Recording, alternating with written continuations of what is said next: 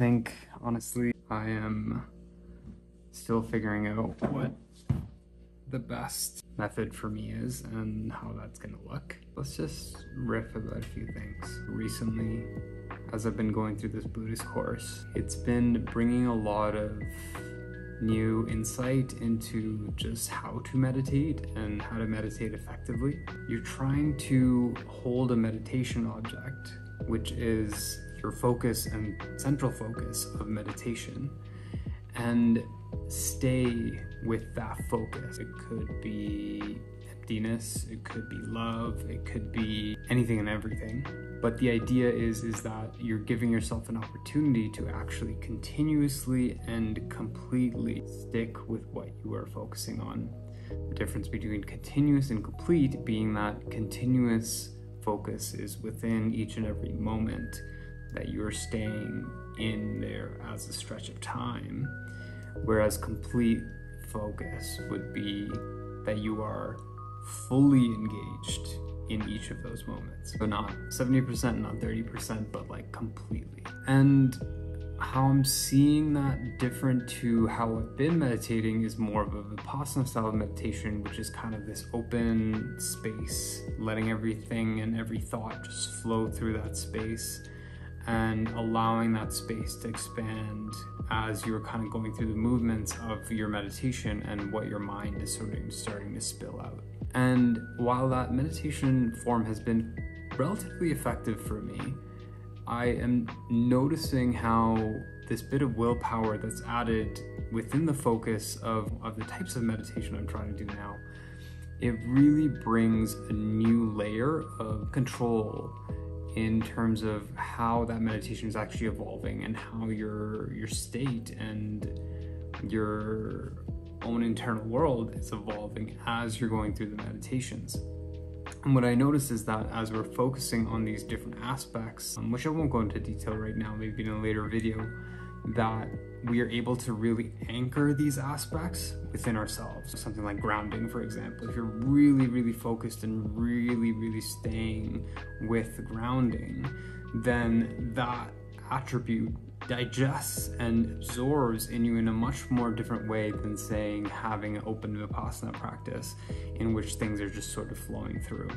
And that's not to say that that grounding doesn't appear in those vipassana practices, but it's just a it's a different way of getting there and i think this way is more of a shortcut so to speak not really a shortcut but it's a more direct way of getting to that space as opposed to allowing things to just kind of settle in your mind as if you know it was kind of like a syrup of water which is i would say more of a Vipassana sort of practice. And i feel like on the other side of this is as we are doing these practices of grounding and attuning and and kind of adding our willpower into it what i'm noticing is that it is able to dissolve material in a way that maybe the Vipassana practice haven't been able to do in the same sort of way. And, you know, fundamentally, what is the difference is that these are hitting spaces of psychological development, which are crucial for our development as human beings. As we grow as children, there's stages of development that we have to go through to to develop a sense of safety and trust and and really like belonging within the world.